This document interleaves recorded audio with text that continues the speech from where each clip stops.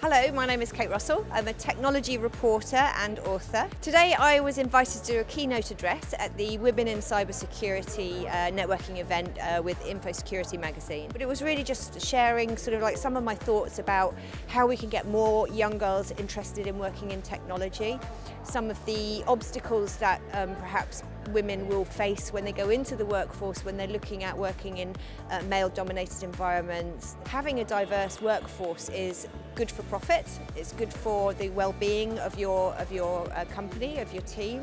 Um, it promotes a, a, a, much more stable and happy working environment. So for many, many reasons, it's good to have diversity in the workforce. The two things that I think that are really important is one is unconscious bias. Companies need to be aware of the fact that unconscious bias exists. The other thing is mentorship. Mentorship should not be a limited resource. Uh, everybody should be entitled to go to their um, superior and ask to be connected with a senior member of the team. Events like this are a really great opportunity for uh, people to um, have a lot of meetings and take on a lot of information in a short amount of time. Still one more day of the conference to go. If you're thinking about coming down here, I would say stop thinking, get your comfortable walking shoes on and get yourself down here to uh, meet some of the uh, industry professionals who will be able to talk to you about what your company might need in the years ahead.